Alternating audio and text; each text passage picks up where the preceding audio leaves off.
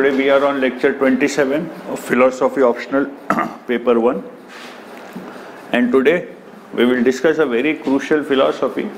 And this philosophy is also a favorite with the examiners. You will get one or two questions on this philosophy in every every year.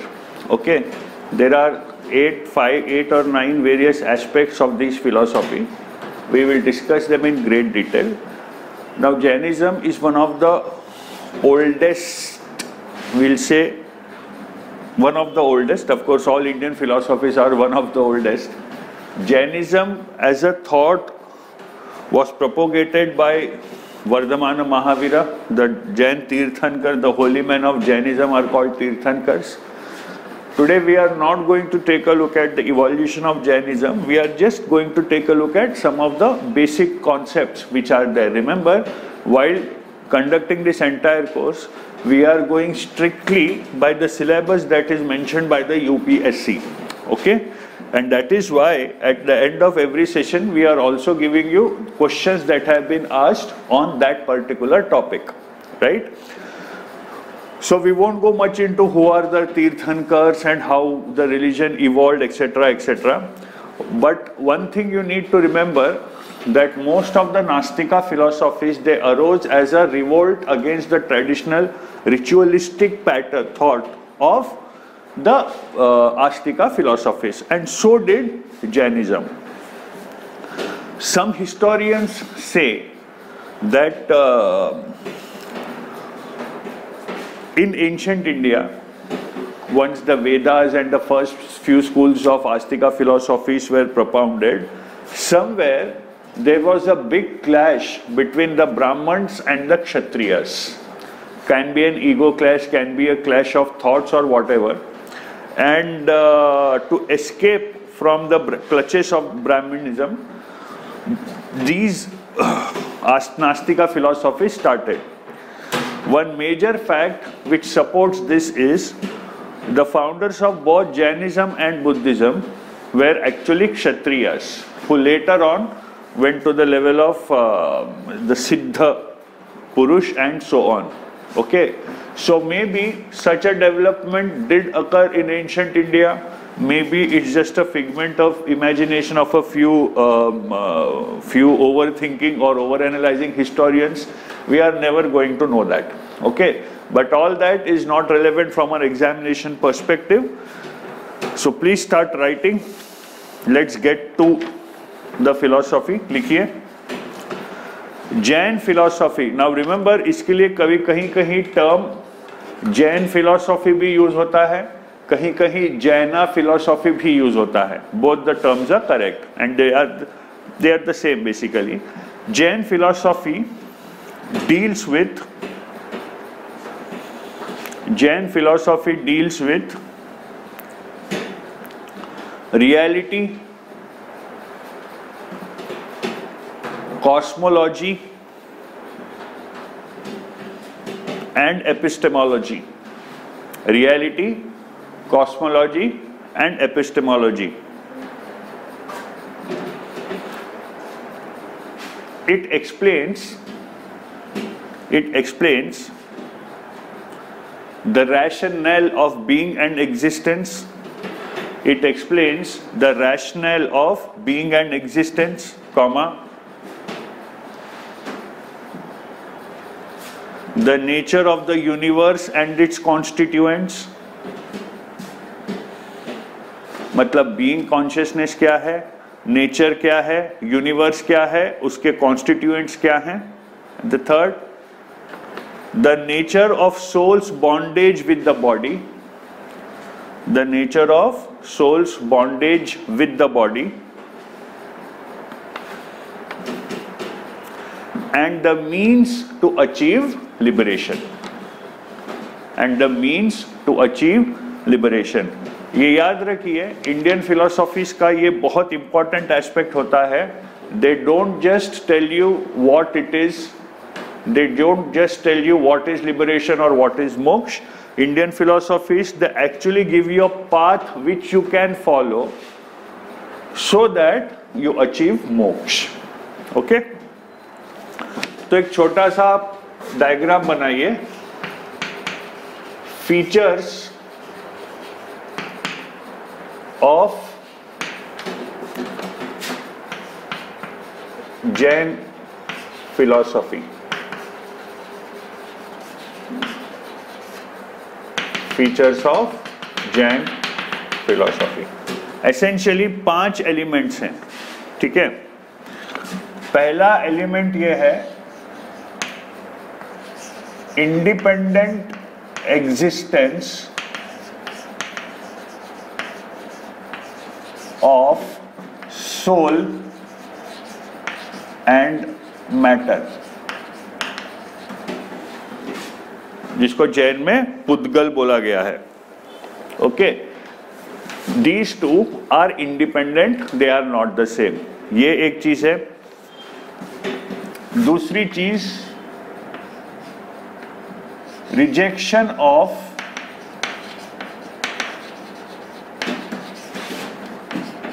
the supreme creator notion. ये idea जो astika philosophies की थी कि there is a creator who is supreme he has made the various elements interact etcetera etcetera the god lord maintains lord preserves lord destroys ये सारे जो concept थे Jainism took a radically opposite view it rejected such an idea okay third it talks about karma and the eternal universe karma and the eternal universe So Jainism says that the universe was, is, and will be. There is no specific point in time where at which point you can say that the universe was created. It has existed and it will continue to exist. And this thought you can see in a few Western philosophies as well. Because there is no one point where the universe originated, there cannot be one point where the universe dissolves or the universe ends. Universe is eternal. Fourth, the Sapta Saptabhaginya theory. Multiple facets. Multiple facets of truth. सच भले ही एक हो लेकिन वो सच का description बहुत अलग अलग हो सकता है। क्योंकि हर व्यक्ति सच का वो पर्सपेक्टिव डिस्क्राइब करेगा जिससे वो कांटेक्ट में है। ओके तो सच भले ही एक हो एज आई एम सेइंग ये थॉट आपको हिंदुइज्म में भी दिखेगा। एकम सत विप्र बहुधा वादंती तो there are multiple facets of the truth right and then you have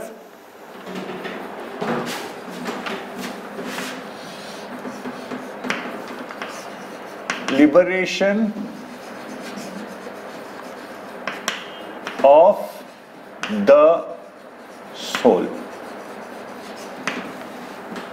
So when you talk about features of Jain philosophy, these are the essential five features. Ultimately, the objective of these philosophy is also the same, liberation of the soul. Okay? फ़र्क कहाँ आता है दूसरे philosophy से? Soul क्या है? Course, Charvaka would say there is no soul. But with the other Astika philosophies, फ़र्क ये आता है कि सोल क्या है? ठीक है सोल का नेचर क्या है? और लिबरेशन के लिए क्या करना चाहिए? ये मामलों में फ़र्क पड़ता है ठीक है? तो this are the essential features of Jain philosophy अगला हेडिंग दीजिए। Theory of reality theory of reality इसका भी हम एक चार्ट के थ्रू ही समझेंगे इसको भी।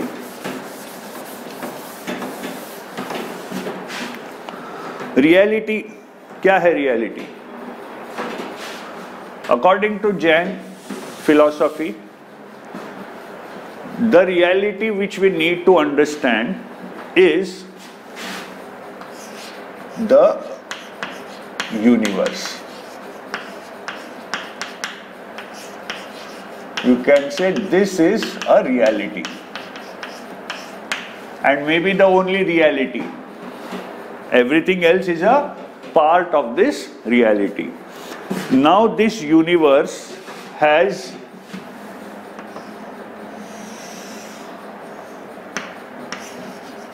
living beings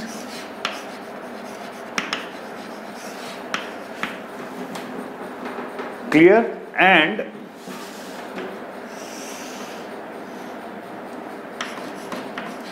non-living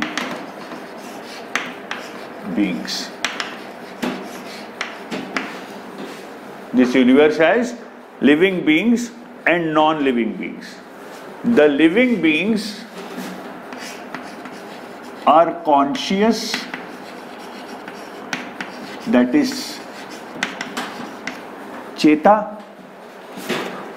and they have a soul.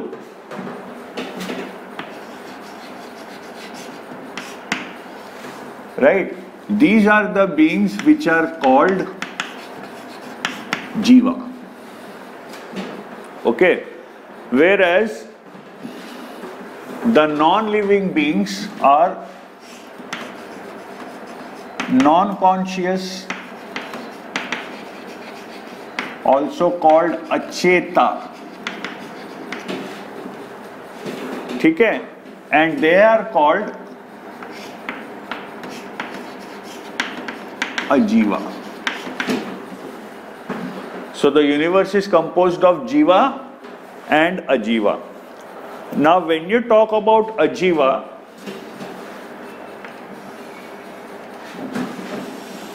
there are five distinct ajivas five distinct ajivas the first is pudgala और मैटर इसमें से एक एक के हम डिस्क्रिप्शन में जाएँगे पुद्गला और मैटर द सेकेंड इज़ आकाशा और space remember Charvaka does not recognise this then you have काल और समय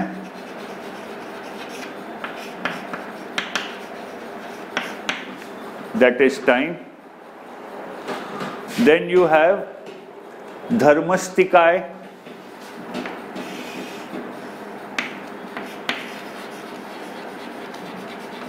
Dharmastikaya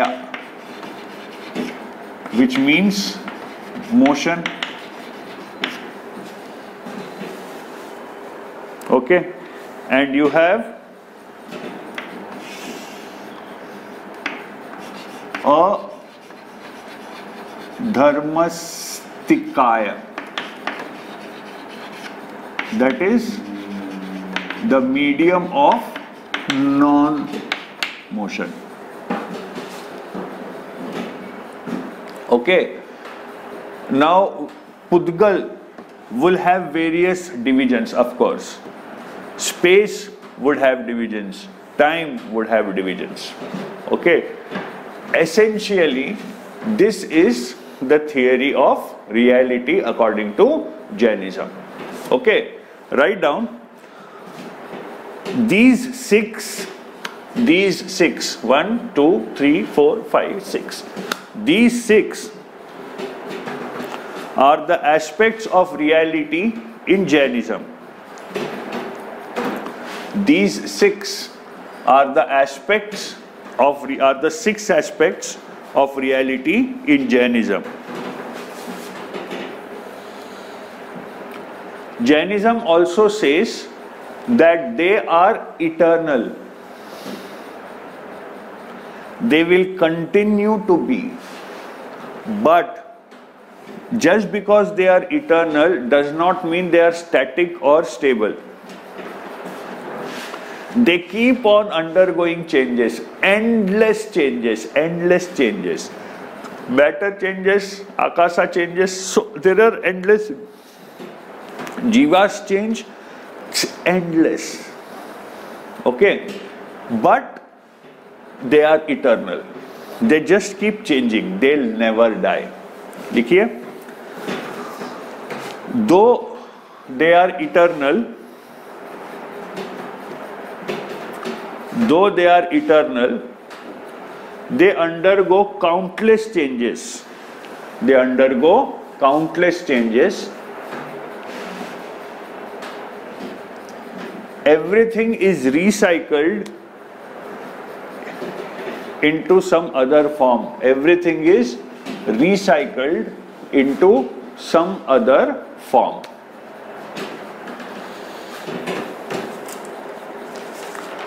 Then write down.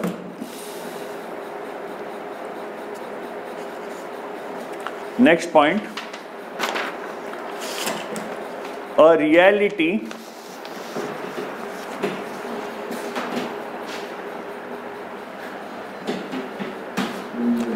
or entity is defined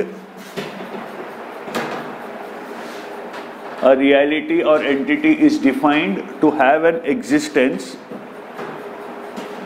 to have an existence which is known as Sat or truth.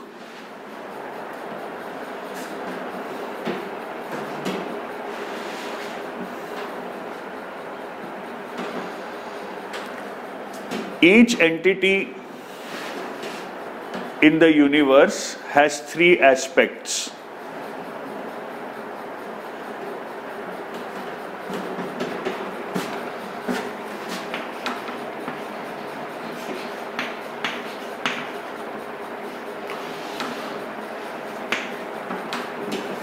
उत्पाद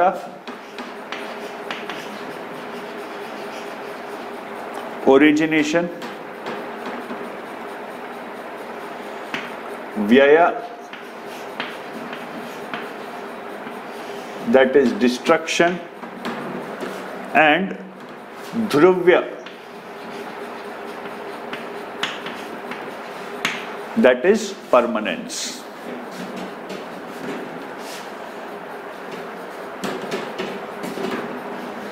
okay अब इसमें एक चीज़ समझिए, द्रव्य का कॉन्सेप्ट जो एंटिटी है, वो तो इटर्नल है. दैट इज़ कॉल्ड नित्य ओके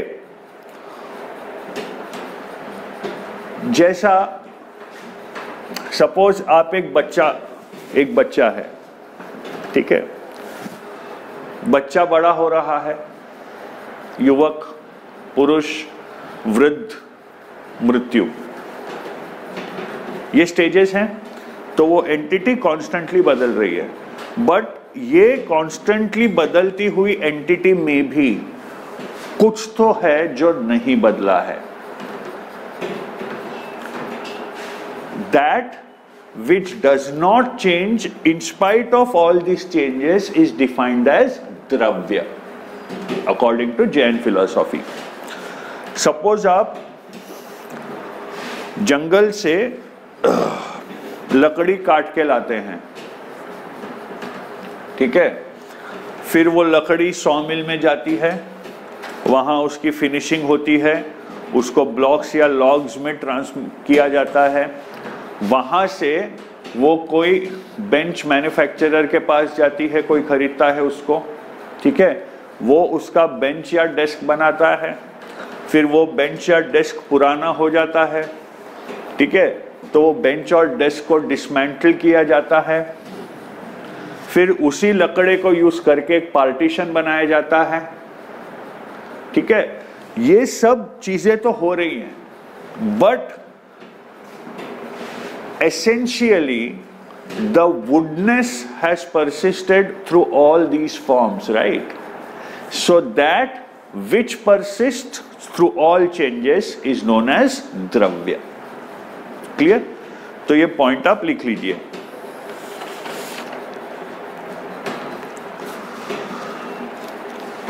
बोथ द्रव्य that is the substance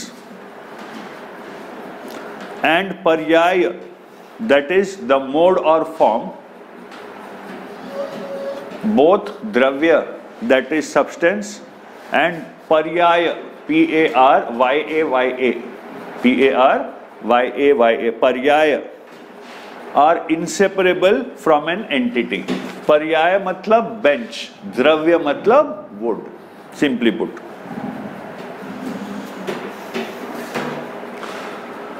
an entity is permanent that is नित्य ब्रैकेट में लिखिए नित्य an entity is permanent bracket में लिखिए नित्य the standpoint of its attribute और क्वालिटीज द्रव्य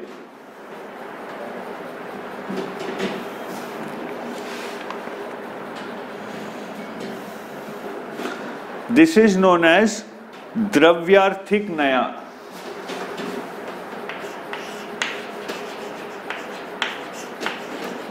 Dravyarthik Naya.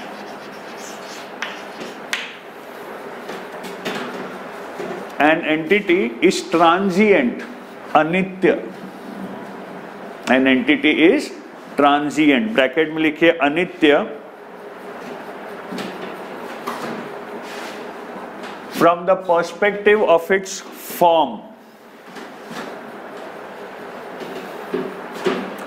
Paryaya. From the perspective of its form, bracket में लिखे paryaya. This is known as paryarthik paryarthik naya paryarthik naya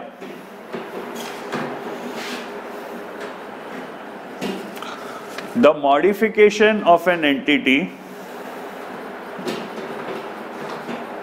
the modification of an entity is its transformation into various sizes and forms is its transformation into various sizes and forms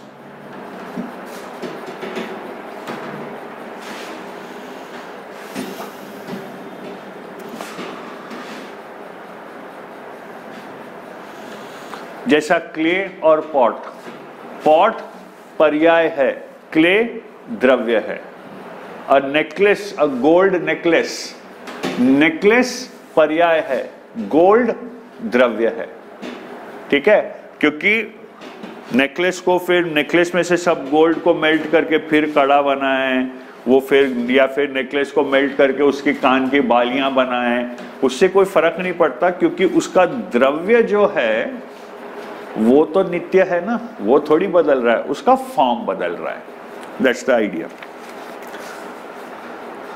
during modifications during modifications the basic dravya of a substance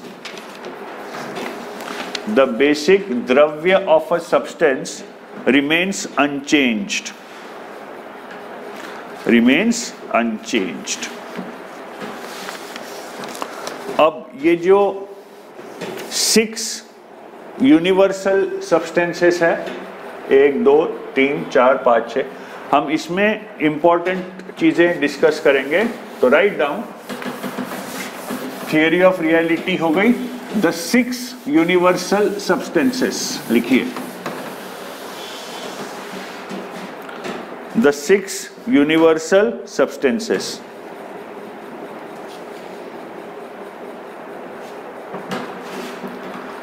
सबसे पहला है soul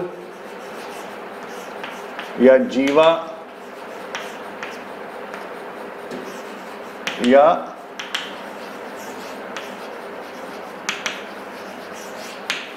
living being ठीक है? इसमें दो तरह से categorization possible है। पहला कैटेगराइजेशन है लिबरेटेड और नॉन लिबरेटेड ओके दूसरा categorization is depending on how many senses the soul has एक इंद्रिय, द्विंद्रिय, त्रिंद्रिय एक्सेट्रा एक्सेट्रा ठीक है? दोनों कैटेगराइजेशन हम देखते हैं। पहले सोल का कॉन्सेप्ट क्या है लिख लीजिए।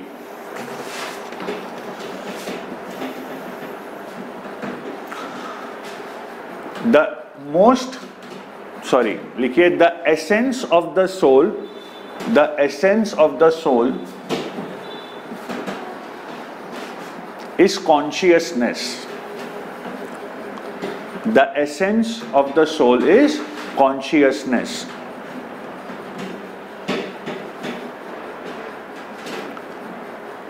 It is the only substance which knows. It is the only substance which knows.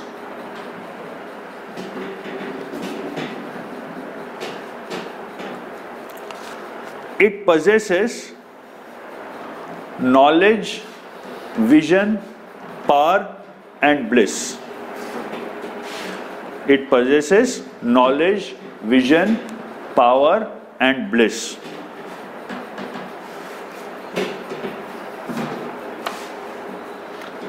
It also possesses the property of contraction and expansion.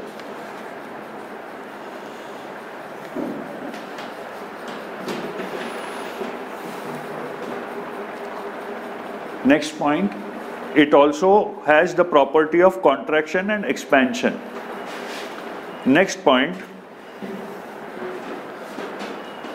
the, there are an innumerable souls and counting them is not possible.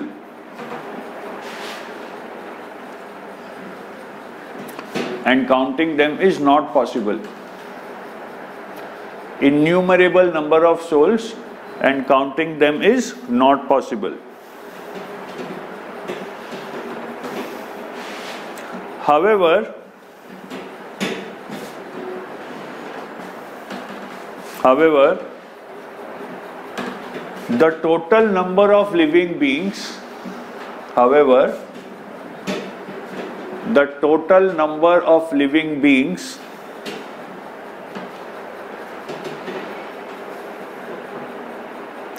remains same in the entire universe. Remains same in the entire universe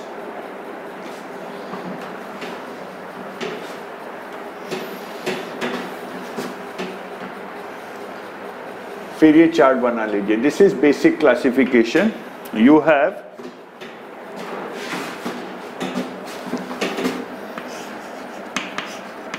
the liberated soul also call the मुक्त jiva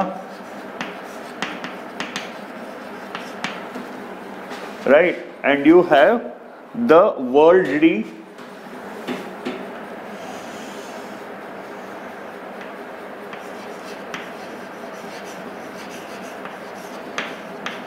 worldly soul called samsari. Samsari या संस्कारी नहीं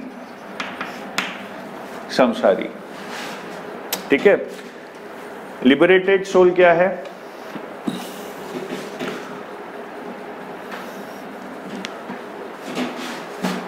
लिखिए। इसका पहले description लिखिए differences बाद में।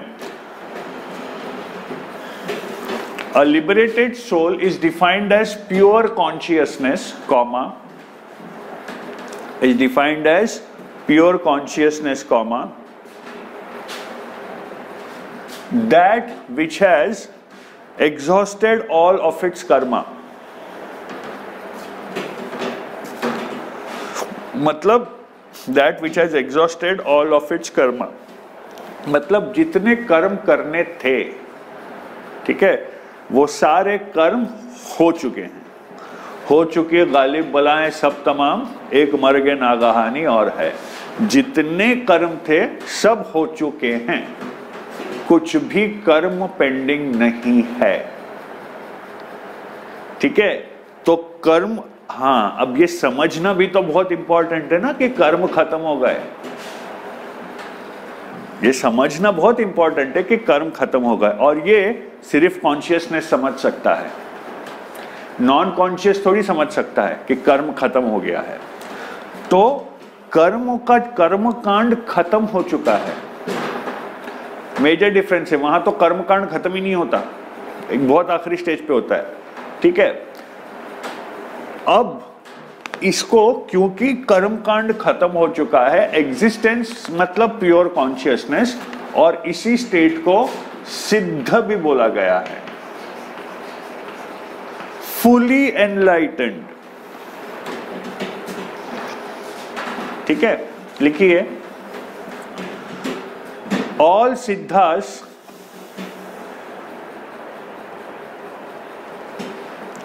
are defined as gods in Jainism.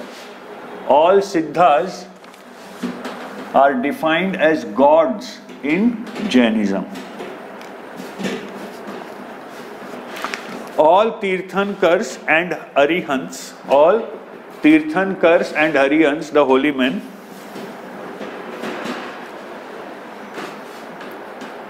all Tirthankars and Arihants become Siddha, become Siddhas at the end of their life.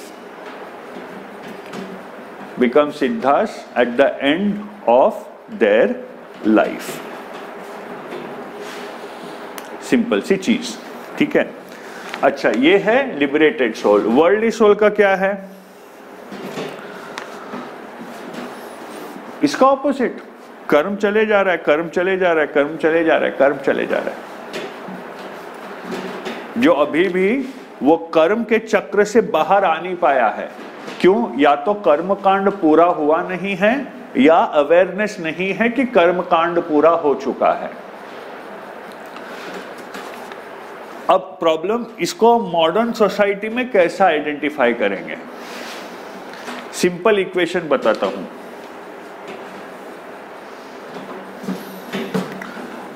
हाँ आपको इसकी प्रैक्टिकलिटी भी देखनी पड़ेगी ना तो क्योंकि आज के जीवन में ये कैसे संभव है?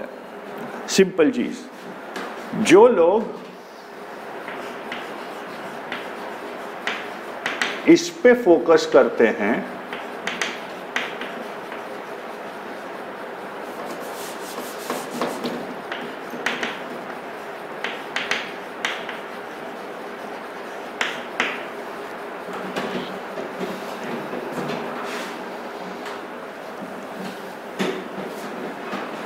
और जो लोग रियलिस्टिक वर्ल्ड में मालूम होना चाहिए ना, ये कैसा हो रहा है। इस पे फोकस करते हैं।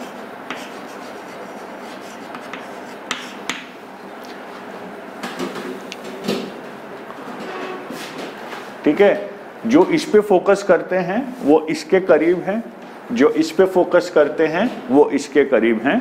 दुनिया दोनों कैटेगरी के लोगों से बनती है। हालाँकि अल्टीमेट ऑब्जेक्टिव ये होना चाहिए। अकॉर्डिंग टू जैनिज्म मानना न मानना आपके ऊपर है। According to Jainism ultimate objective ये होना चाहिए। ठीक है? तो आज की डेट में लिबरेटेड सोल और वर्ल्डली सोल में, आप अंतर कैसे बताएँगे? अंतर इससे बताएँगे आप, आज की दुनिया में। रिमेंबर ये जैनिज्म का पार्ट नहीं है।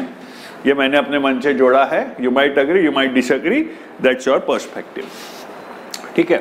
ओके अब ये दोनों में फ़र्क क्या है? अब पॉइंट्स लिख जाइए लिखते जाइए, एक के बाद एक।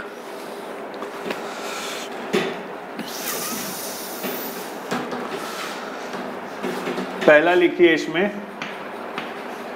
Infinite knowledge vision power and bliss infinite knowledge vision power and bliss और इसमें लिखिए फाइनाइट नॉलेज विजन पावर और ब्लिस लिखिए लिखिए। फाइनाइट नॉलेज विजन पावर और ब्लिस वो इसमें लिखिए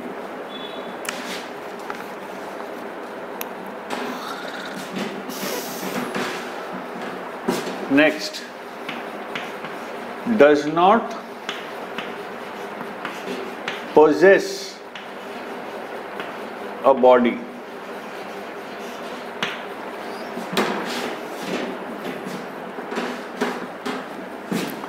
इसमें लिखिए। Possesses a body. यही लॉजिक है which is behind the traditional Jain practice of fasting to death ठीक है? जो शायद अशोक चंद्रगुप्त मौर्य ने की थी। Right right? समकरा करके कोई एक एक टर्म है, मैं भूल रहा हूँ। दो साल, दो तीन साल पहले बहुत कंट्रोवर्सी भी हुई थी because supreme court said that this traditional practice tantamounts to suicide and the Supreme Court tried to ban the. तो द जैन कम्युनिटी रिवोल्टेड ठीक है? तो ऐसा कुछ गड़बड़ हुआ है दो तीन साल पहले because the traditional method of dying in Jaina is fasting to death तीसरा फ़र्क लिखिए।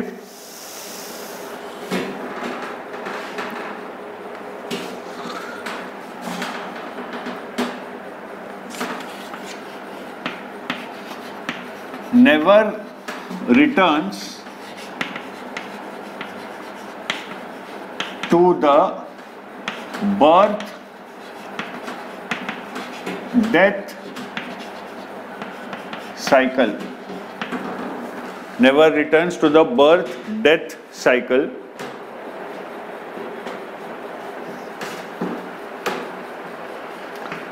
Worldly soul suffers from suffers from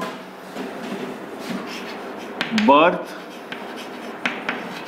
death, pleasure,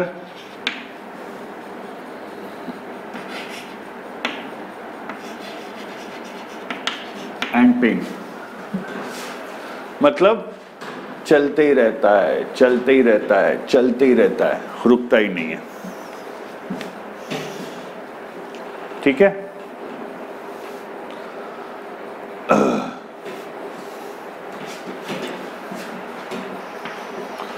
क्योंकि बॉडी नहीं है तो आप बोल सकते हैं non doer of karma right this person view से is a doer of karma. Right? So these are the main ways in which a liberated soul is different from a worldly soul. Okay? अगला point लिखिए अगला paragraph लिखिए worldly souls can also be divided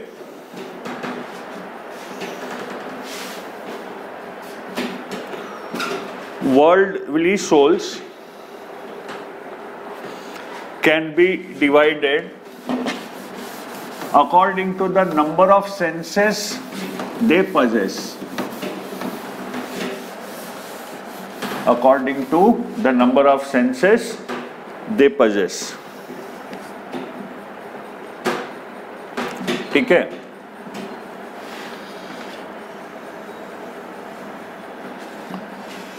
ये chart continue कीजिए। सबसे पहले आता है एकेंद्रिय।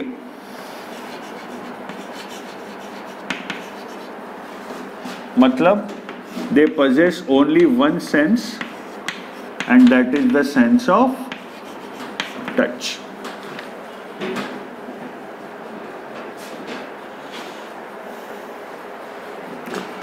ठीक है?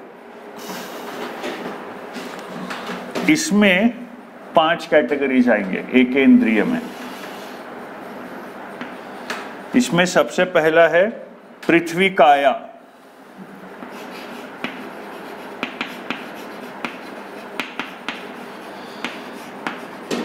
पृथ्वी का मतलब अर्थ, काया का मतलब soul.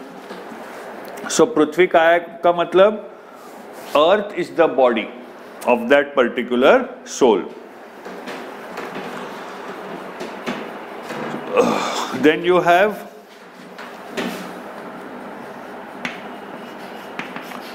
apakaya, water,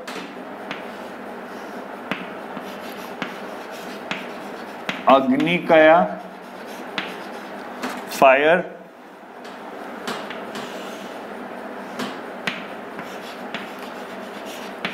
vayukaya air and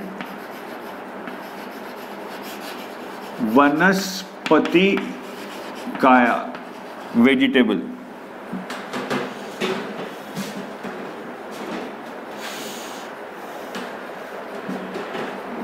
ठीक है? तो ये है एकेंद्रिय। then you have beindriya be indriya मतलब two senses and these are touch and touch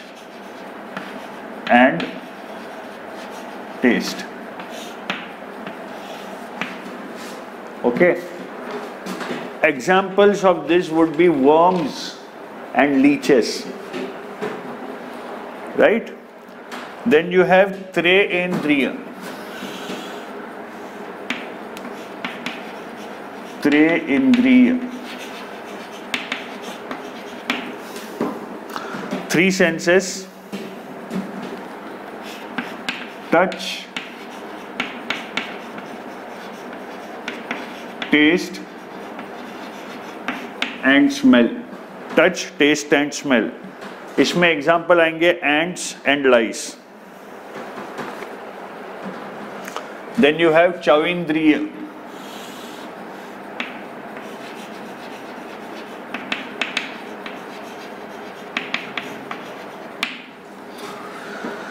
touch taste smell and sight touch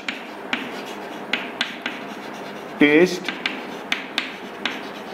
smell and sight इसमें आएँगे मक्खियाँ बीज flies etcetera and then you have पंच इंद्रिय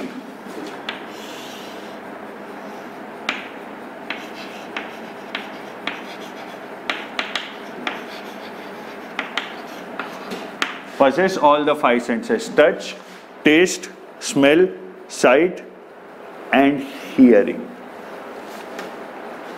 ठीक है?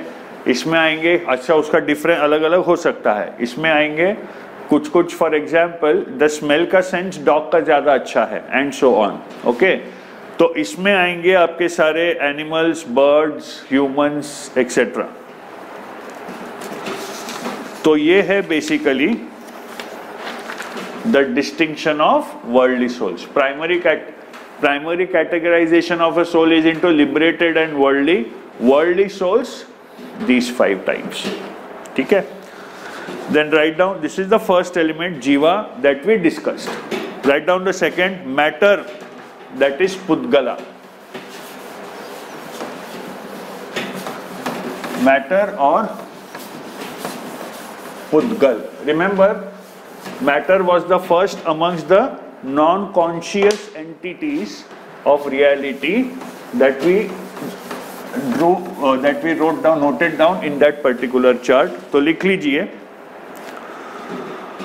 matter is a non living substance matter is a non living substance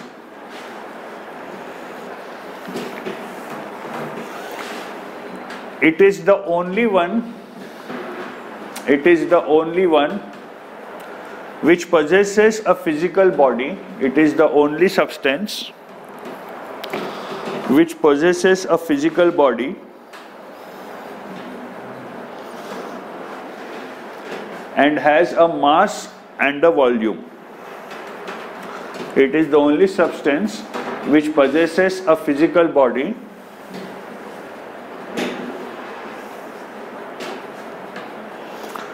and has a mass and a volume and has a mass and a volume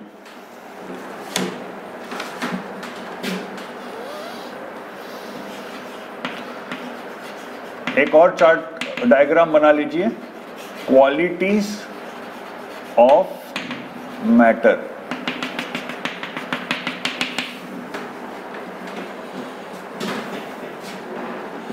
ठीक है सबसे पहला तो आपने ऊपर नोट किया है। हैज़ अ फ़िज़िकल बॉडी ठीक है?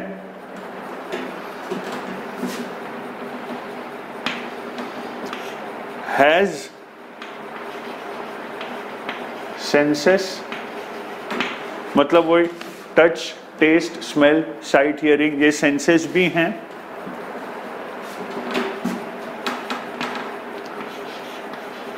Possesses a color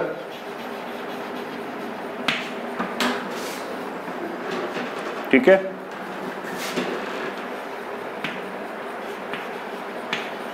innumerable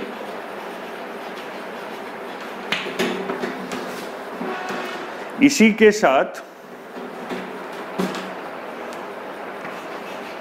no consciousness and no knowledge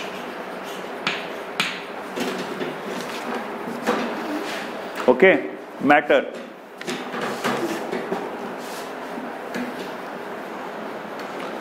physical body ठीक है? कलर है इन्यूमरेबल है. लेकिन, अब देखिए, हम पुद्गल की बात कर रहे हैं। सेंसेस है कॉन्शियसनेस नहीं है। रिमेंबर बहुत इंपॉर्टेंट डिफरेंस है। Right right? आप इसको इस तरह भी इंटरप्रेट कर सकते हैं कि आपके सेंसेस से आप उसको परसीव कर सकते हैं। मतलब हैज़ सेंसेस की जगह आप ये भी लिख सकते हैं can be perceived by senses can be perceived by senses लेकिन मैटर का अपने आप में कोई कॉन्शियसनेस नहीं होता है, क्योंकि मैटर बेसिकली क्लासिफाइड ही है अजीवा में। पुद्गल क्लासिफाइड है अजीवा में। तो उसकी अपने आप में कोई चेतना नहीं है, वो अचेत है। ठीक है? लेकिन ये प्रॉपर्टीज़ हैं। अगला लिखिए। The four divisions of matter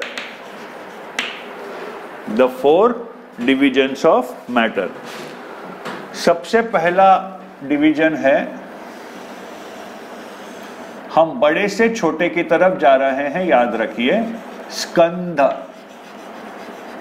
which means whole matter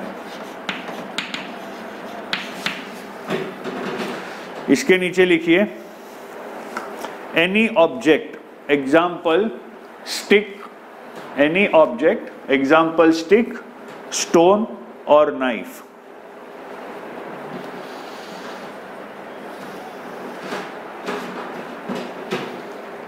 और a bottle second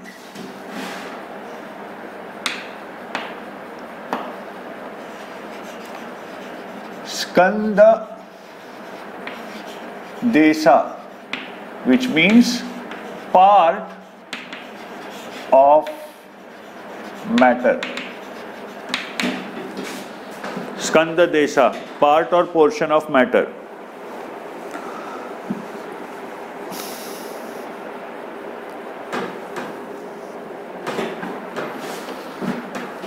matter skanda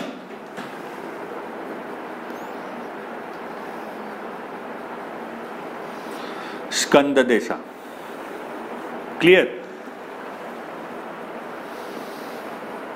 got the point skandha.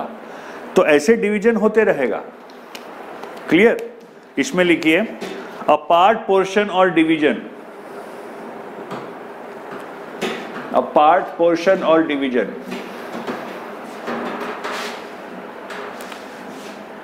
when undetached it is skandadesa the cap is skandadesa when detached when undetached it is skandadesa when it is separated it becomes a different skanda समझ गए ना when separated it becomes a different skanda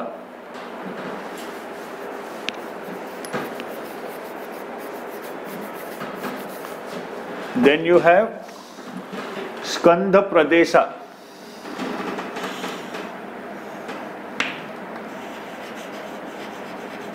skandha pradesha which is smallest particle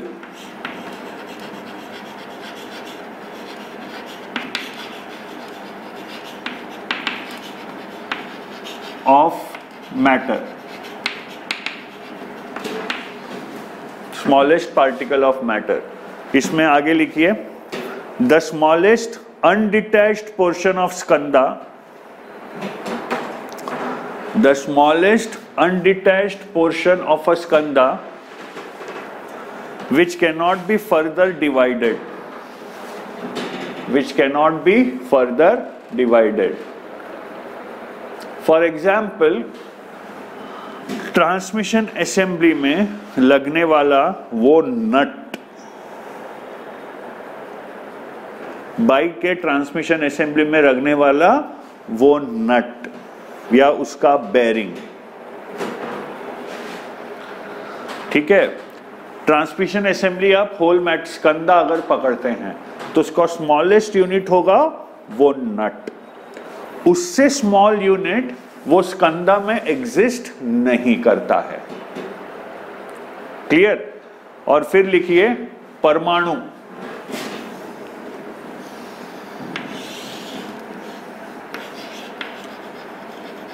परमाणु और atom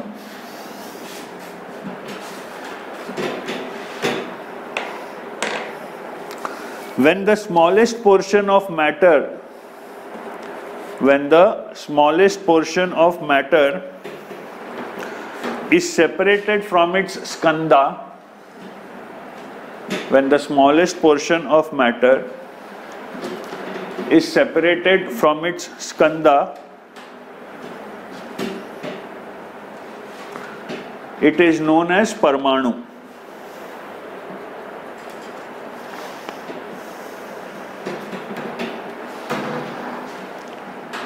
paramanu matter paramanu matter cannot be further subdivided.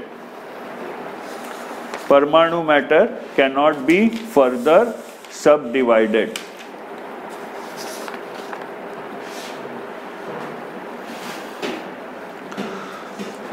Then next point लिखिए तो classification के बाद next point लिखिए मैटर के बारे में ही। कर्म पुद्गला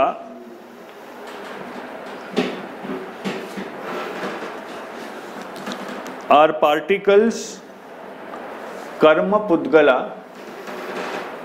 मतलब karmic matter karma pudgala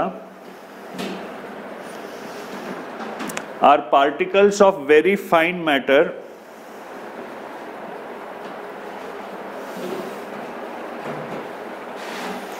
not perceptible to the senses.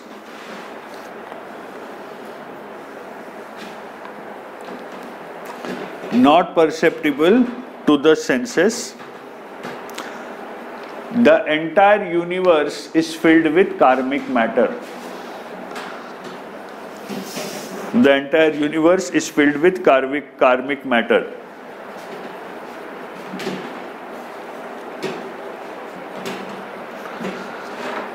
जैसा कांटा है, लगा तो खून निकलेगा या दर्द होगा। ठीक है? तो वो काटा as such is not anything of course it's karmic matter it not a threat but if you put your finger on it it becomes a threat तो that invisible thing which makes you put your finger on that काटा may be karmic matter the entire universe is filled with such karmic matter a human body is enveloped with karmic matter and it is this karmic matter which prevents the human body from getting closer from the realization which prevents the human soul from the realization of its true nature likhiye every living being is covered in karmic matter every living being is covered in karmic matter from the beginning of time.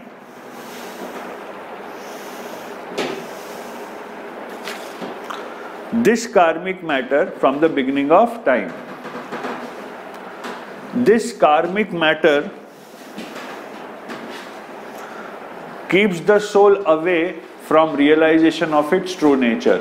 This karmic matter keeps the soul away from realization of its true nature.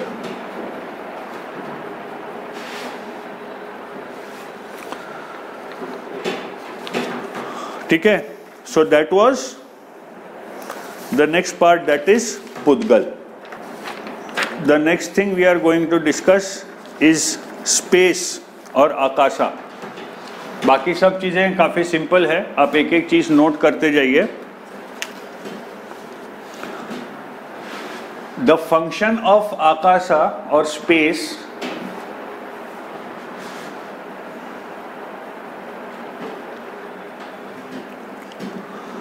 is to provide room to all other substances of the universe because even if when we talked about western philosophy everything is located in some space. Okay, so that is called akasha.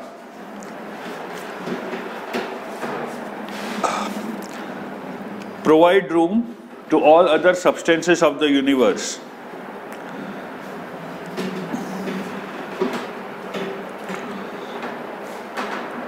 Its qualities are number 1 पाँच छः qualities लिख लीजिए provides room to soul, matter, medium of motion and medium of rest.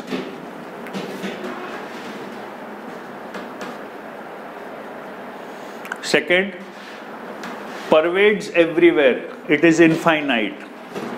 हर जगह है। ऐसा कुछ भी नहीं है ब्रह्मांड में, जहाँ पे आकाशा नहीं है। आकाशा हर जगह है। हैज़ नो फॉर्म तीसरी property has no form colour taste smell और touch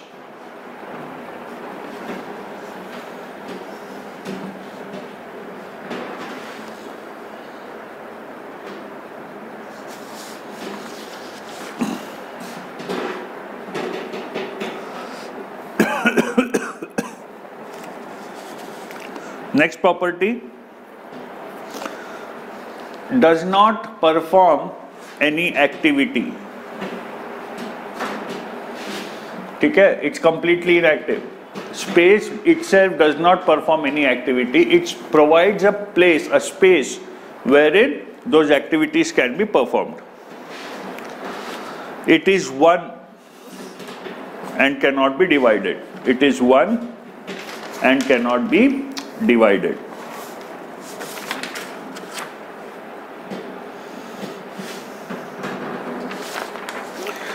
अब इसमें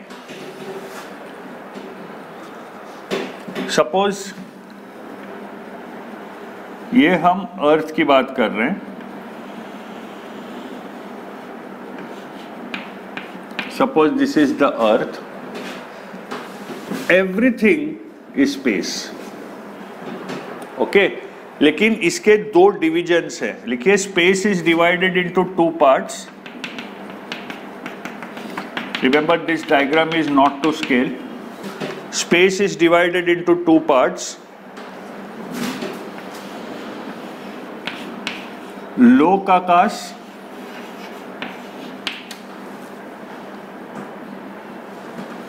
and alok akash लोकाकाश का मतलब लिखिए where the medium of motion and rest where the medium of motion and rest and substances exist where the medium of motion and rest and substances exist ठीक है? Alokakash is the remaining space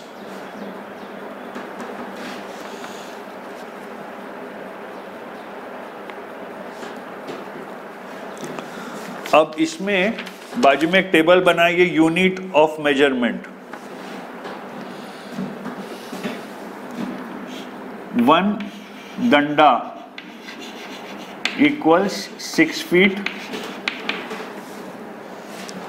one danda equals six feet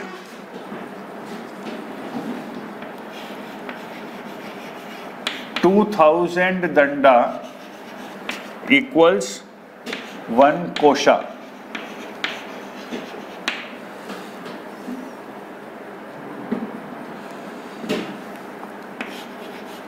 Four kosha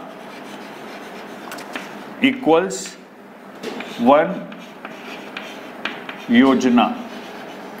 This is approximately nine miles.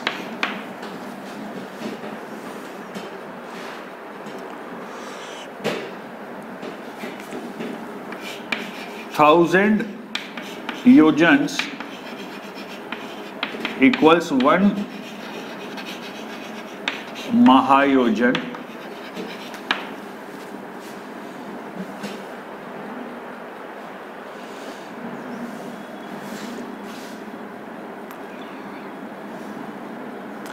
And one Raju equals 1.15 into 10 to the power 21 miles अब ये मैंने क्यों लिखा है? लिखिए height of lokakash equals 14 rajju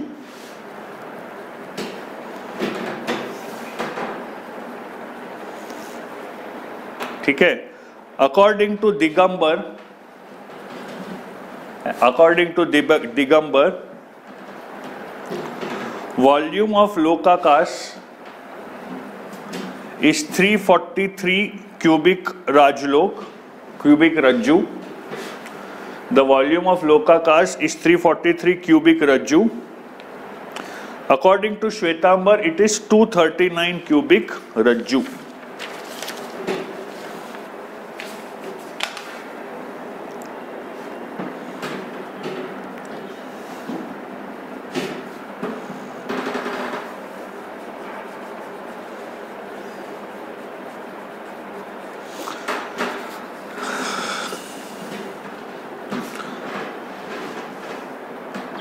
अब अगला element लिखिए टाइम और काल और समय। इसका फ़ंक्शन क्या है? लिखिए the changes in living being and non living substances one more to the other पर्याय बोलते थे उसको correct the changes in living being and non living substances are measured in units of time though are measured in units of time though time is not the cause for these changes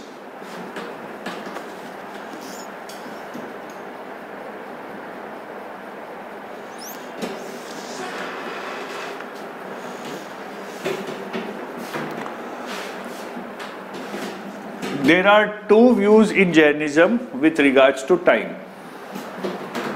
There are two views in Jainism with regards to time. पहला लिखिए time is an imaginary thing and has no real existence.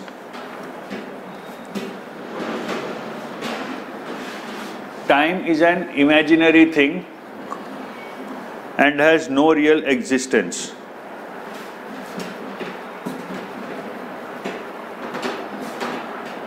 Second, time has a real existence. Time has a real existence consisting of time has a real existence consisting of innumerable time atoms consisting of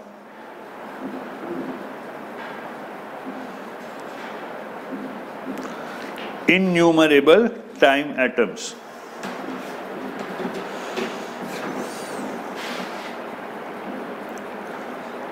The smallest indivisible portion of time is called samaya.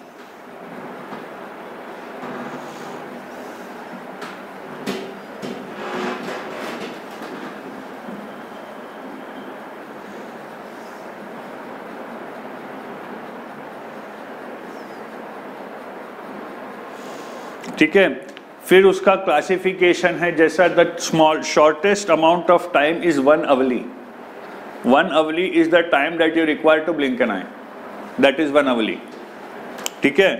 फिर so many avalis combine to create a muhurta so many muhurta combine to create a day one muhurta basically is 48 minutes ठीक है?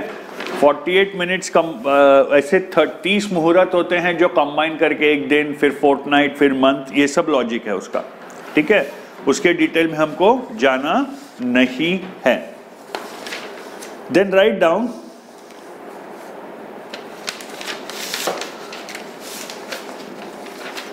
धर्म, dharmastikaya medium of motion इसके बारे में कुछ points लिख लीजिए।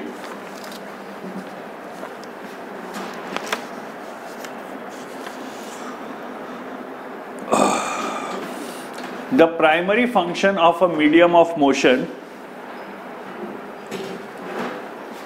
the primary function of the medium of motion is to help is to help the movement of soul and matter.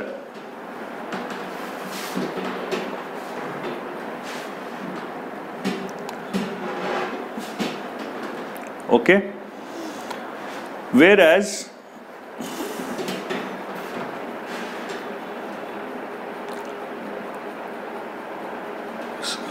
मैमोमेंट soul and matter लिखिए। Both dharmastikaya and adharmastikaya.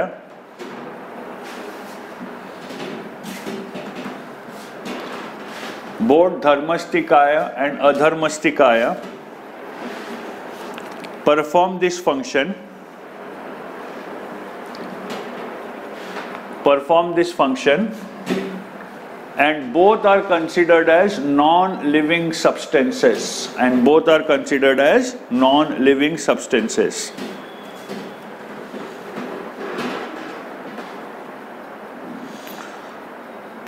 They do not have any senses, color or body, dono, dharmastika and adharmastika. They do not have any senses, color or body,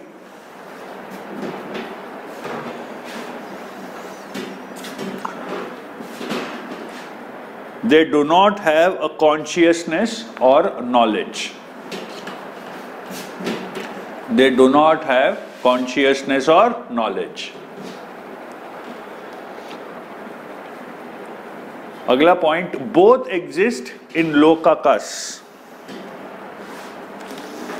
both exist in the lokakash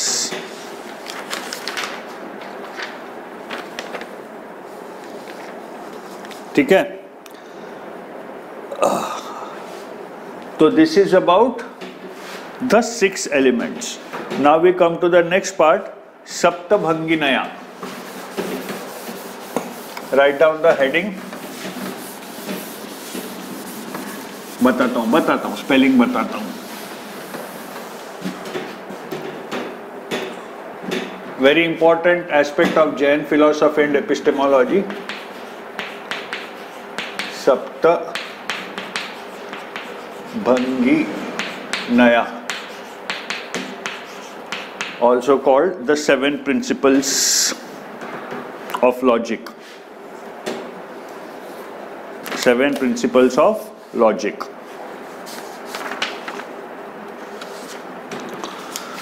Write down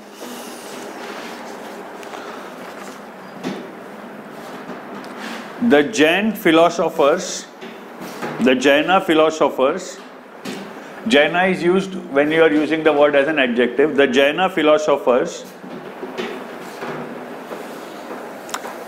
developed a system of argumentation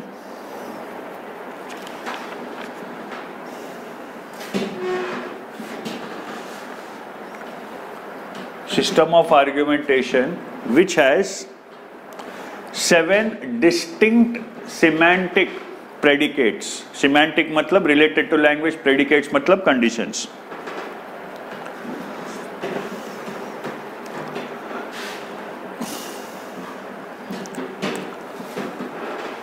These can be thought of as these can be thought of as seven different truth values these can be thought of as seven different truth values.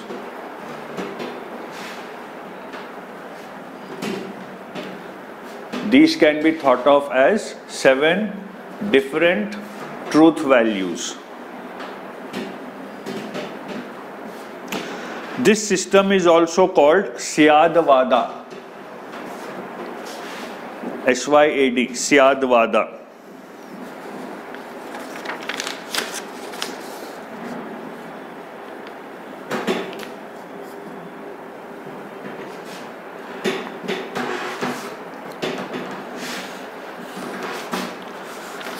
The seven forms are the seven forms are first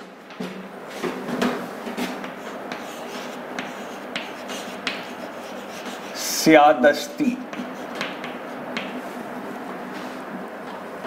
What does it mean? Relatively पूरे साथ लिख लीजिए, फिर इसकी philosophy समझ में आएगी। Relatively a thing is existent relatively इसके आगे लिखिए relatively a thing is existent second is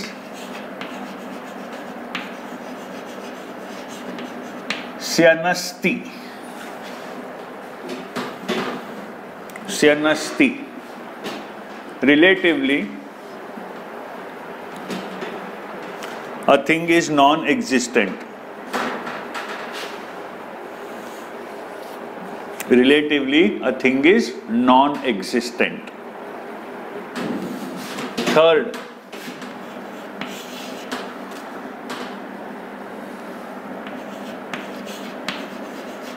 syadasti nasti combination of both. Relatively,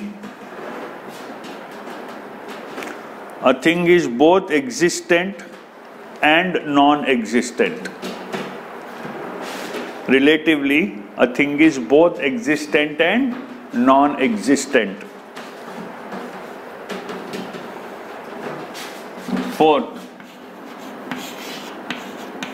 Syada वक्तयम। वक्तव्यम। सियाद वक्तव्यम। Relatively a thing is indescribable अवक्त सियाद अवक्तयम अवक्तव्यम। Indescribable relatively this is the सियादा everything is relative समझ रहे हो आप? Everything is relative whatever you feel about a matter और पुद्गल और a substance is relative सियाद अवक्तयम अवक्तव्यम relatively a thing is indescribable.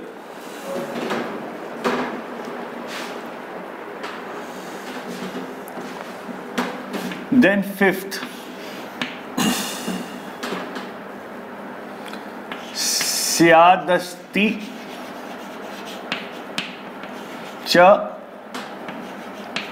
अवक्तव्यम। सियादस्ती च अवक अव्यक् अवक्तव्यम। Right down relatively a thing is existent and indescribable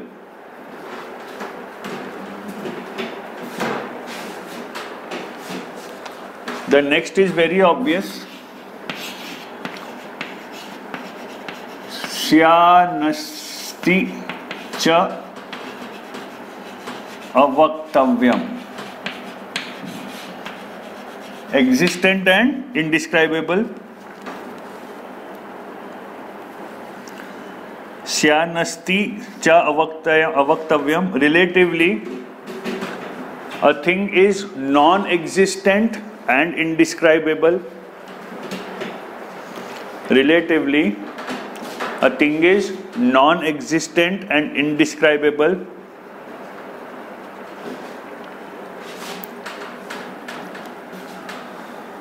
seventh स्यादस्ति च नस्ति च अवक्तव्यम relatively a thing is existent. Relatively a thing is existent non-existent and indescribable.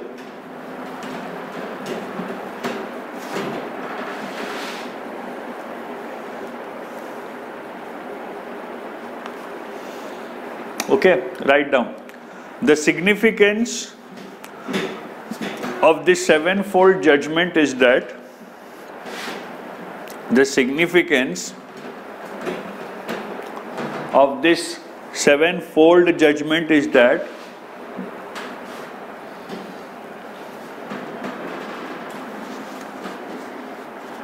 our knowledge regarding anything is relative. Our knowledge regarding anything is relative.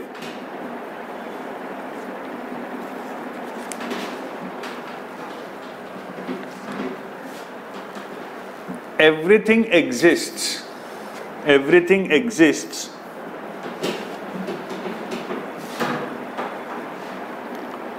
From the point of view of its own substance, everything exists from the point of view of its own substance, space, time, and form.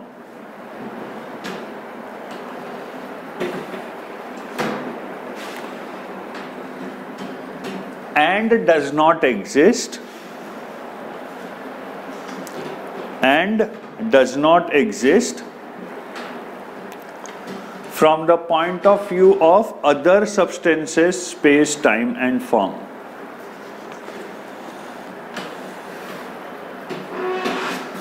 Let's take an example. A jar of clay exists from what point of view?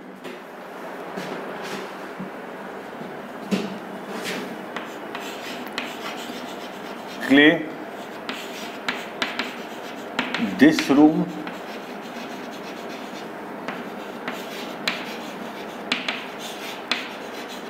right now.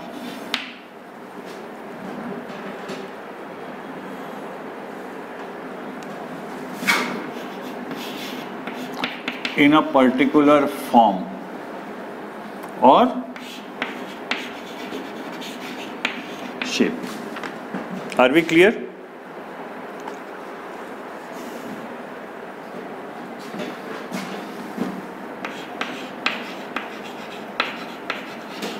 it does not exist from the perspective of say gold.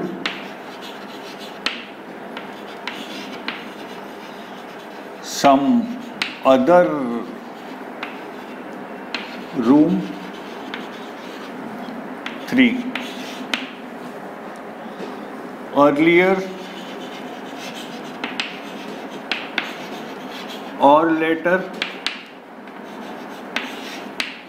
यहाँ पे particular form और shape लिख लीजिए। और यहाँ लिखिए some other form और shape so from these perspectives does not exist from this perspectives exist therefore everything that exist is related लिखिए आगे।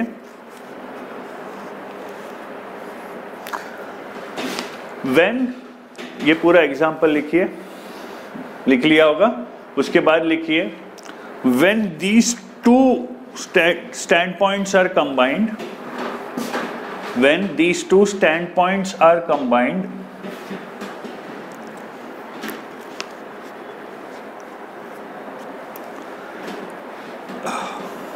we get the third judgment.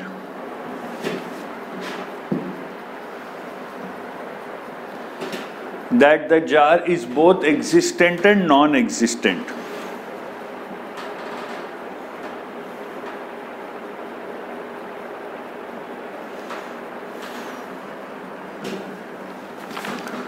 The fourth judgment says that if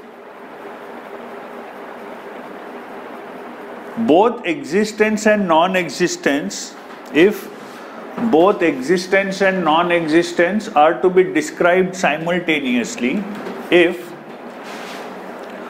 both existence and non-existence are to be described simultaneously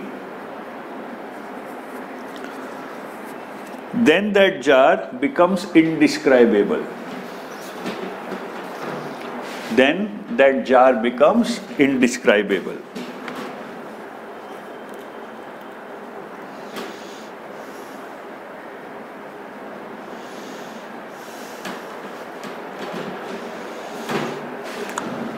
The fifth judgment says, Syadasti sa avaktavyam.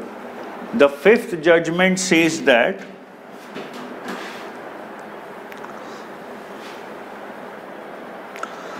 from a particular point of view,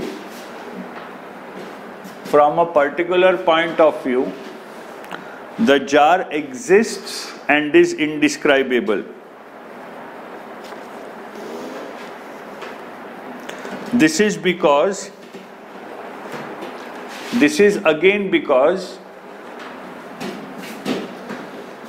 this is again because there is no word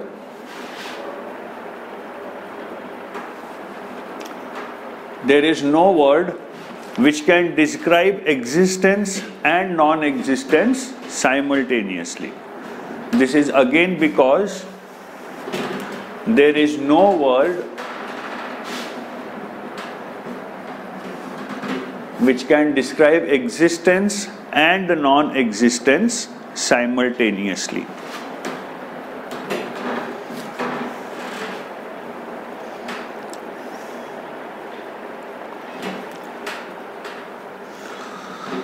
फिर लिखिए।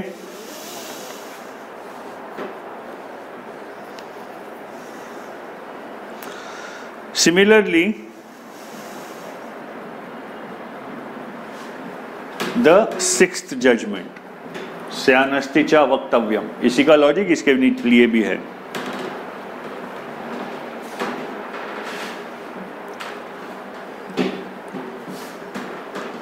The seventh judgement combines all these and says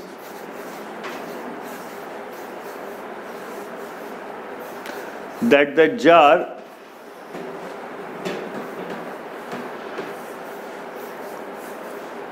exists as well as does not exist, exists as well as does not exist and is indescribable.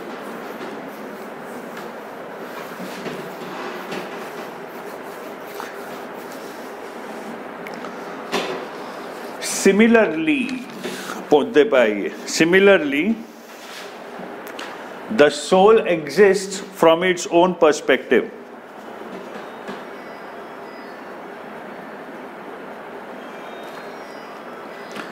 soul exists from its own perspective however however from the point of view of another substance from the point of view of another substance however from the point of view of another substance it does not exist. From the point of view of another substance it does not exist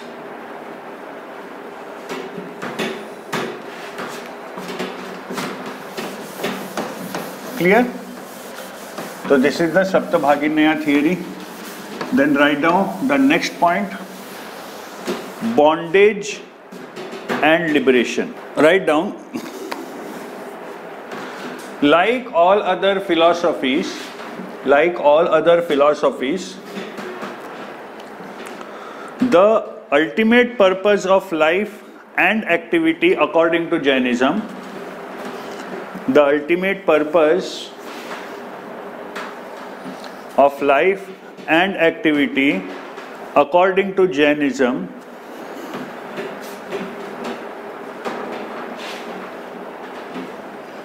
is to realize is to realize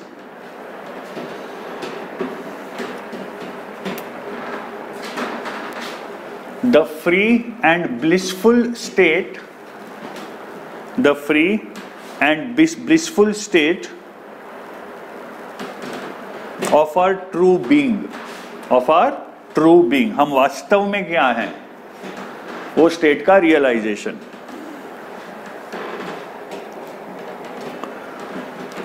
True philosophy should result in removing of all bondage. True philosophy should result in removal of all bondage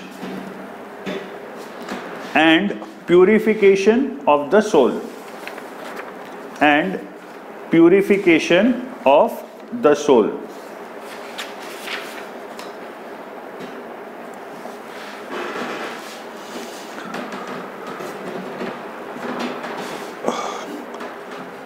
Jainism lays down a definite course of practical moral discipline. Jainism lays down a specific course of practical moral discipline comma contemplation of the highest truth contemplation of the highest truth. And reorientation of life. And reorientation of life. For attaining the ultimate reality.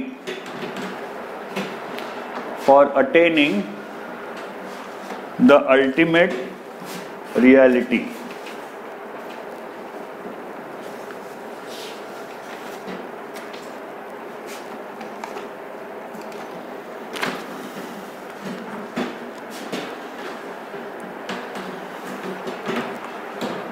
The path to liberation consists of the following trinity.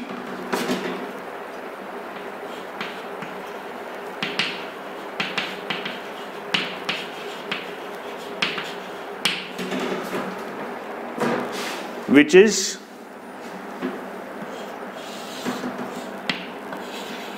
Samyak. Darshana. That means the right perception.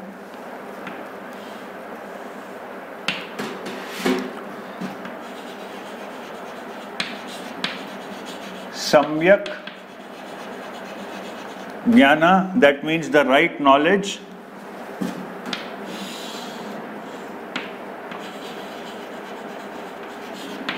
And सम्यक चरित्र चरित चारित्र which means the right conduct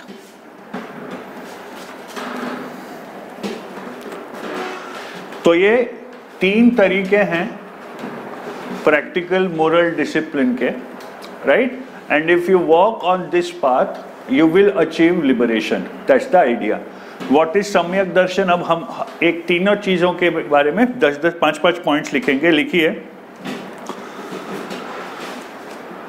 सम्यक दर्शन का मतलब क्या है? Right down discard superstitious belief discard superstitious belief and adopt a rational attitude in life and adopt a rational attitude in life ठीक है? अब इसमें what are superstitious believe obviously दो बिलीव ऑफ़ होमा अग्नि worshipping god etcetera Jainism would call them superstitious believe है but if you ask the ancient sages they will give you uh rational as to why you should go to temples and sol तो rationality भी ना एक बहुत doubtful case है। Okay okay? Even when we say that we are rational, we in fact may not be rational. Just because we are saying that we are rational. क्योंकि a human is a mix of emotions तो वो emotions जो है उनको दूर करके एकदम rational perspective से सोचना है दूसरा पॉइंट लिखिए the true nature of every substance has to be perceived correctly the true nature of every substance has to be perceived correctly.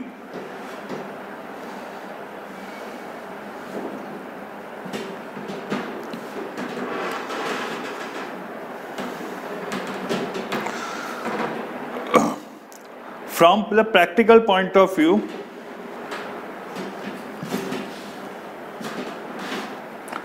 perception in the nature of the reality means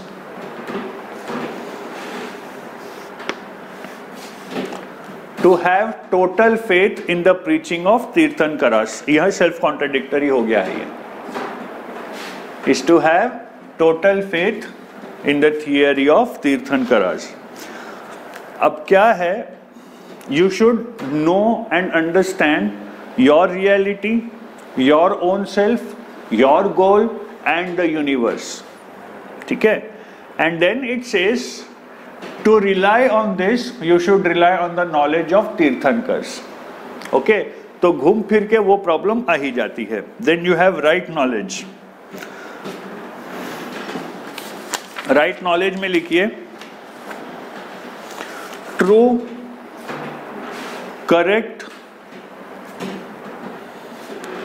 proper, true, correct, proper, and relevant, relevant knowledge of the reality.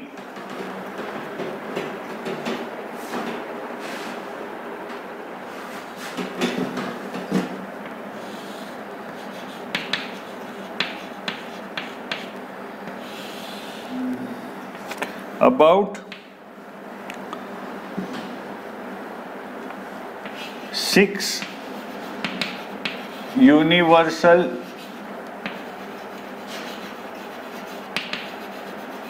substances and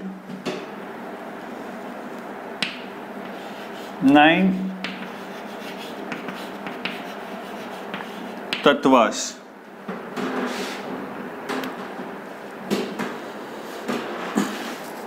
What are the nine tattvas? Write down. Soul, matter, asrava, A S R A V A, asrava, band, bondage, B N D H बंध bondage पुण्य पापा, संवरा, निर्जरा and moksha.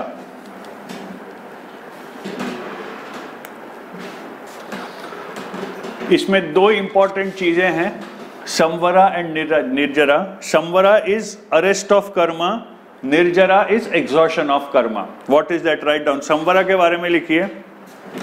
Stops fresh karma stops fresh karma from attaching into the soul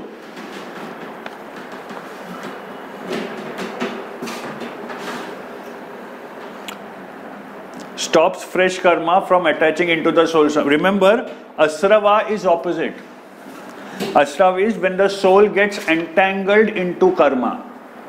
Right? Samvara is how to, sorry, prevention of karma getting into the soul. Okay? That is Samvara. Likhiye. The Jain literature explains 57 practical ways jain literature explains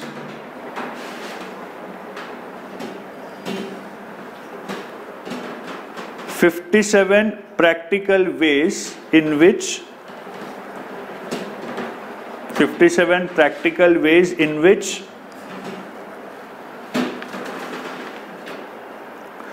a person can stop the influx of karma. 57 practical ways in which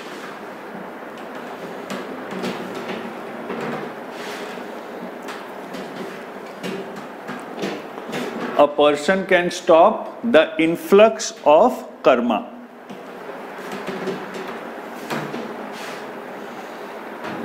ठीक है okay तो संवरा का वही concept है performing action in a detached manner if you perform action in an attached manner your soul would be impacted by the karma okay but if you perform them in a deta- in a detached manner perform them in a detached manner then the soul would not be impacted by the karma that's the point फिर लिखिए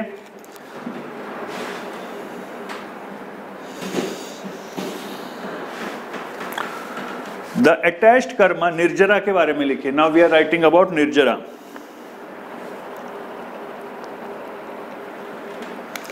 exhaustion of the attached karma जो कर्म जुड़ गए हैं, उनको कैसे खत्म करना? लिखिए। The karma attached to the soul the karma attached to the soul exhausts itself by producing results. Exhausts itself by producing results. कोई भी कर्म किया, उसके रिज़ल्ट आ गए तो कर्म खत्म हो गया। तो रिज़ल्ट आने के बाद कर्म डिटैच हो जाता है। देन राइट डाउन उसके बाद लेकिन at that time a new karma attach to the soul At that time, a new karma attached to the soul.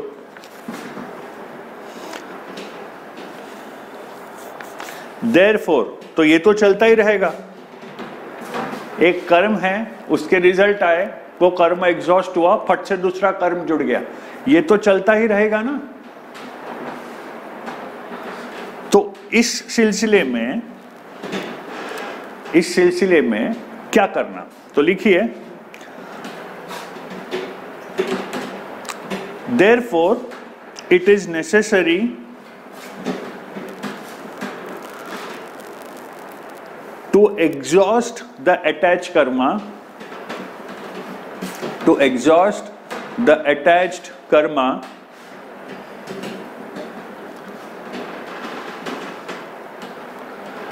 before it produces results.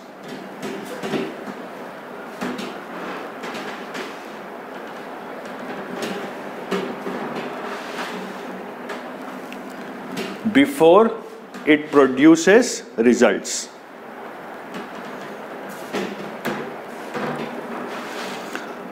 This is done by this process is called nirjara. This process is called nirjara.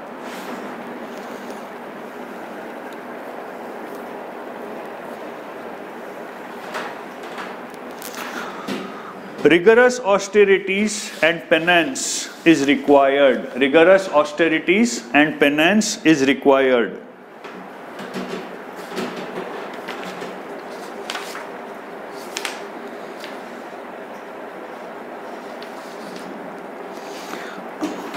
Twelve types of nirjara, twelve types of nirjara are described in the Jain scriptures.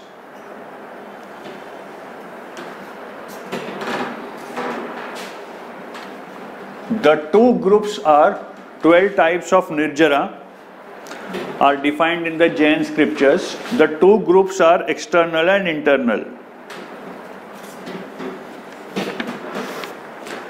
External मतलब क्या होगा जो body के passions desires etcetera etcetera हैं उसके against human body को discipline करना okay okay? Internal क्या होगा जो आपकी आत्मा को प्यूरिफाई करे very clear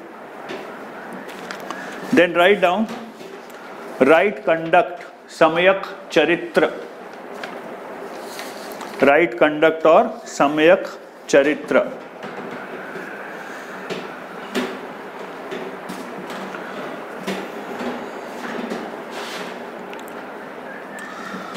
the main purpose लिखिए main purpose of human life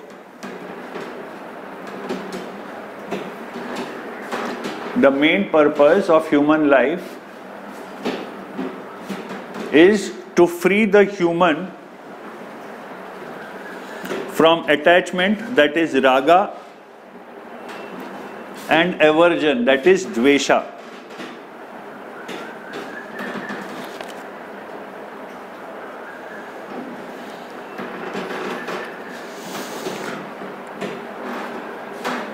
Right right conduct consists of right conduct consists of ethical codes rules and disciplines. Ethical codes rules and disciplines.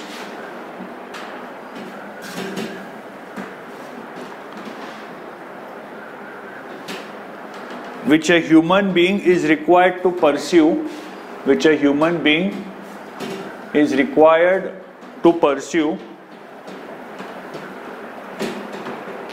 for ultimate freedom for ultimate freedom what are the अब इसमें this involves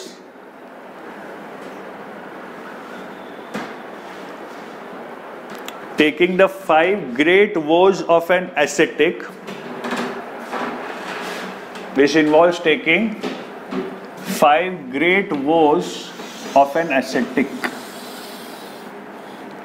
क्या है ये अहिंसा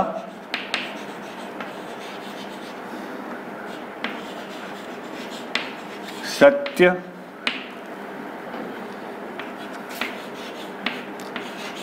आचौर्य।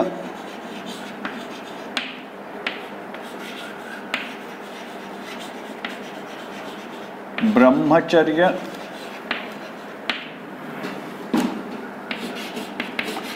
अपरिग्रह। पहले भी ये हो चुका है। योगा में पढ़ा है हमने ये सब।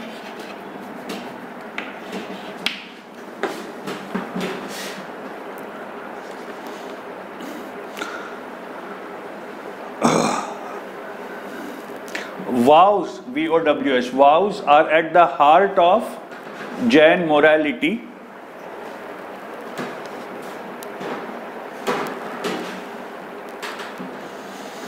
And are usually undertaken and are usually undertaken with full knowledge of their nature and the determination to carry them through. The full knowledge of their nature and the determination to carry them through. Right? So this is right conduct, Samyak Charitra. Remember there are five vows of an ascetic, there are 12 limited vows of a householder. तो दोनों तरीके available हैं ठीक है अगला paragraph लिखिए in his conduct in his conduct, an individual can be guided by five benevolent personalities.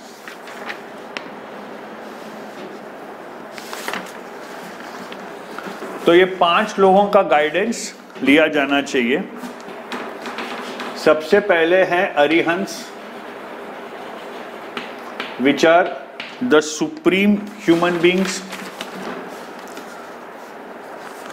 right down they have realized perfect vision, knowledge, power, and bliss. They have realized perfect vision, knowledge, power, and bliss. Then you have the Siddhas. ये है pure and perfect souls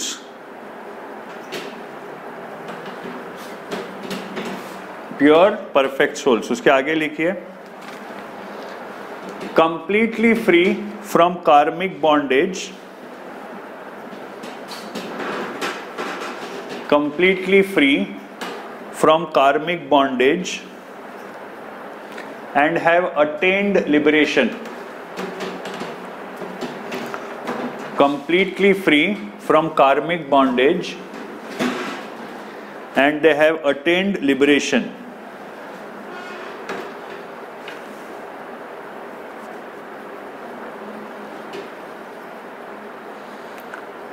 They don't have a body, they are bodiless.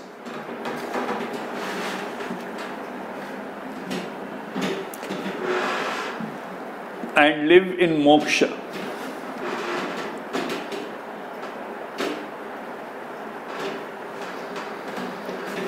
both are considered to be gods of the Jain religion. Both are considered to be gods of the Jain religion. इसके नीचे तीन categories हैं। Acharyas that is master teachers Upadhyayas that is scholarly monks and sadhus ascetics इनकी कमी है आजकल तो इनसे आपको काम चलाना पड़ेगा apparently right so this is the concept of bondage and liberation in Jain philosophy ठीक है and that is Jainism as a whole questions लिख लीजिए please question number one analyze the relation between analyze the relation between the theory of saptabhaginaya. Theory of saptabhaginaya. And anekantavada. And anekantavada.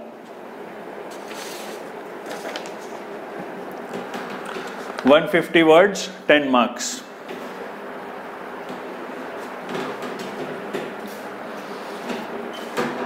Question two. Explain the concept of karma. Explain the concept of karma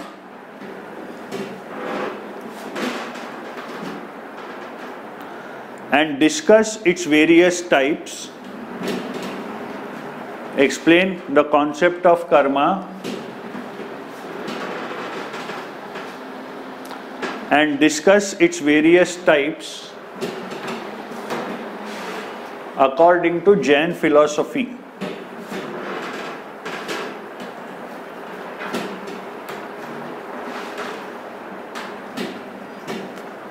according to Jain philosophy. 150 words, 15 marks.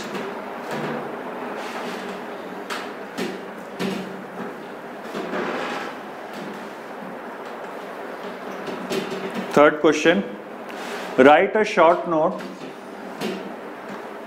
on the Jain concept of Dravya. Write a short note on the Jain concept of Dravya. 150 words, 10 marks.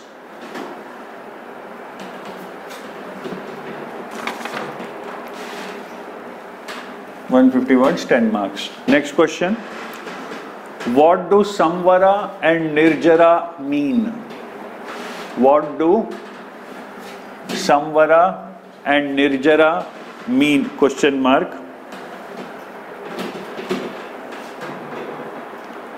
Explain their significance. Explain their significance in the Jain theory of liberation in Jaina theory of liberation.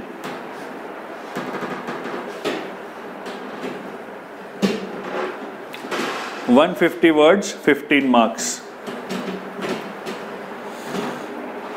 ये एक एक question है जिस पर आपको थोड़ा research करना पड़ेगा अभी examine the Jain stance of Nyaya examine the Jaina stance of Nyaya How does it differ from Syadvada?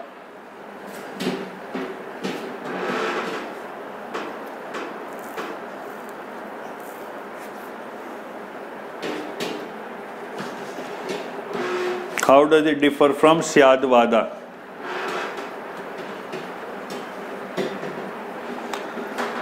Next question Can the Tatvartha theory Tatva Artha theory. Can the Tattvartha theory of Jainism be acceptable for scientific explanations?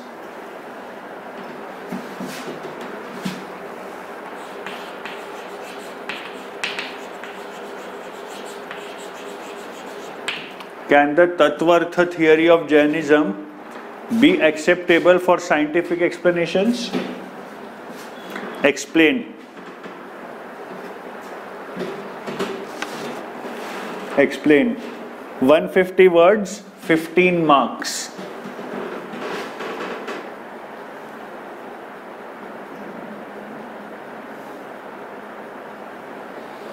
Next next question एक quote लिखिए the Jaina metaphysics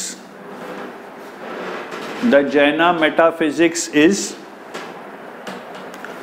relativistic and realistic pluralism.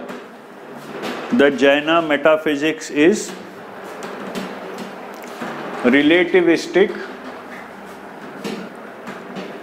and realistic pluralism. Quote marks and discuss.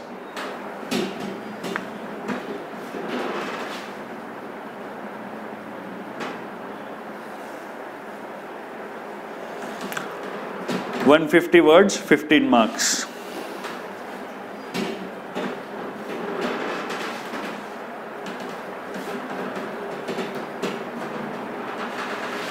Question number eight. How do the Jaina philosophers explain bondage? Question mark.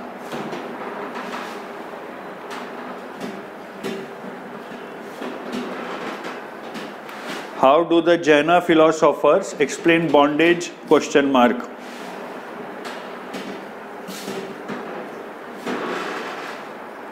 What according to them what accord तीन question है इसमें what according to them is the distinction between is the distinction between liberated soul and bound soul question mark liberated soul and bound soul question mark what do the jainas think what do the Jainas think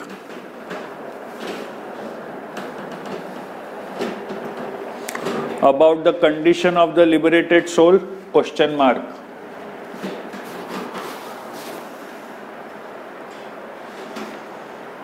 Discuss. Discuss. That's 150 words and 15 marks.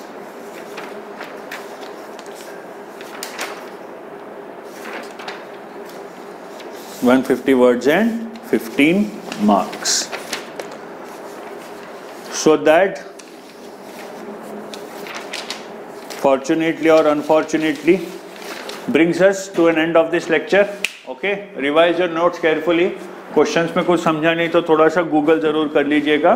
बहुत comprehensive philosophy है। We have tried to cover all that is mentioned in the syllabus thank you very much take care